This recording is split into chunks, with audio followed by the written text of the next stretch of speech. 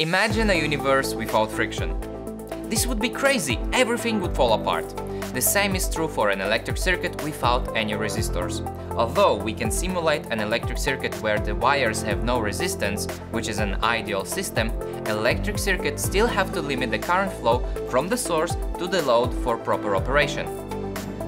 So there is a huge difference between an ideal circuit and an operational one. Let's take a simple low-pass filter as an example. We need to design an RC network with a cutoff frequency of 1 kHz. The cutoff frequency is defined as the frequency at which the capacitive reactance and the resistance are equal. This frequency can be found using the following formula.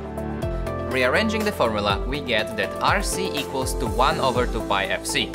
All we have to do now is to pick our RC couple to be equal to 0.159 times 10 to the minus 3.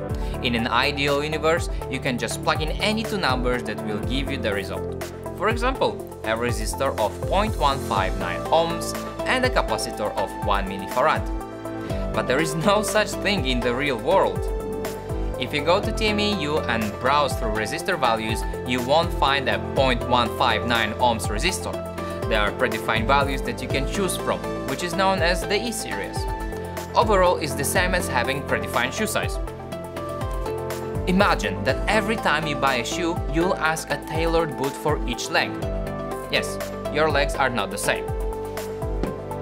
Similarly, the E-Series standardized the values of resistors, capacitors and other components to match and be compatible with those from other manufacturers.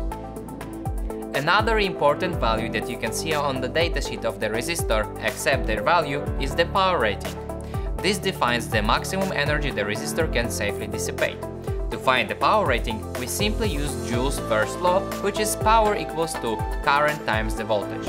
If the power dissipation is larger than the power rating, the resistor may be damaged, like here, and may cause damage to your circuit. For a small DC-powered project, you can use a small resistor that are rated for 1 watt or less. However, for other applications that demand high power dissipation, there are power resistors, which can also be found in TME EU. If you have more questions, post them in the comments and if you like this video, like and make sure to check our channel.